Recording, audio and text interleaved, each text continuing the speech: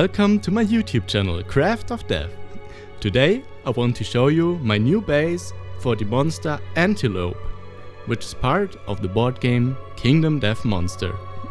For this one I took a completely different approach and I will use this video to show you how I assembled the whole miniature and how it turned out to look like this. I hope you like the video, I hope you like the base, have fun with it and let's get it going. So, first of all, I want to talk about this different approach I had in mind. So, if we look at um, other miniature bases I did, like this um, base for the Butcher, um, you will see that it is a one-part model. I just printed it out, um, glued the original monster to it, and the thing was completely finished. But for this one, I wanted to make something different because I wanted to have more detail. So I decided to split the whole model into different parts, print them separately and afterwards glue it to the model and glue the base together. This has some major opportunities like really incorporating parts of the 3D print into the model.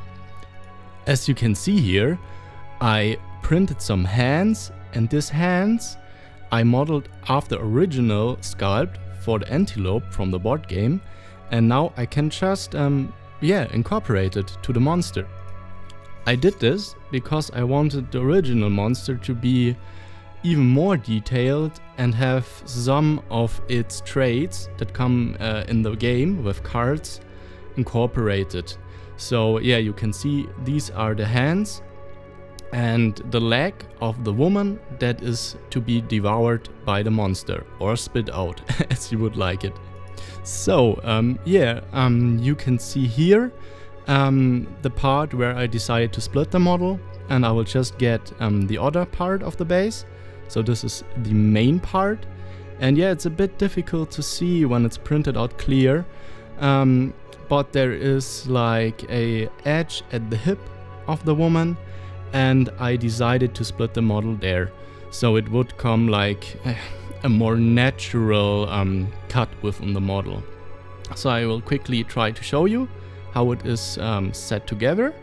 I hope you can see it, but yeah, yes again, here you can see um, that it fits just perfectly. Yeah, these modern printers, they are just fantastic. They are um, so accurate and it's just no problem to split this model and afterwards of course you have to glue it together with um, with um, some um, normal fast glue and not with um, the plastic glue um, you might usually use for the models. But yeah those don't work with um, the resin. So you have to take normal glue. Yeah here I got some acanthus plants. Yeah I decided to um, overhaul the complete um, visual of the of these acanthus plants. There are some um, printable versions out there on the internet. I think they look all really really great. But yeah, just for um, my visual um, um, goal, yeah, my visual goal, I did decided to go a bit differently. So yeah, you might say um, they don't look like the acanthus plants on the um, on the punch out boards, but mm, yeah, I like them this way. so yeah. So let's get on and I now will show you um, how I put together this top part of the model. You can see I used some green stuff um, to um, make the model seamless. Um, this green stuff is um, a really, really great product. Um, it's a two component product um, of green and white. Um, you smash it, you mash it together and it will be really, really formable. And um, yeah, I use this stuff a lot. It's really, really great and it's just perfect for these kind of situations. I have like some special tools and I will also use this liquid green stuff, it's called. Um, when you buy it, it comes in a very, very liquid state. And I um, found out that it is not that well, it's not that usable in this liquid state. So I just left um, the cap of um, the liquid green stuff open um, to um, yeah drain out some of this liquid and yeah now it's more solid. And you can see that I can um, use it in a similar way um, to the um, normal green stuff. But um, the main difference to this is that it's still more soft than the um, the usual green um, green stuff.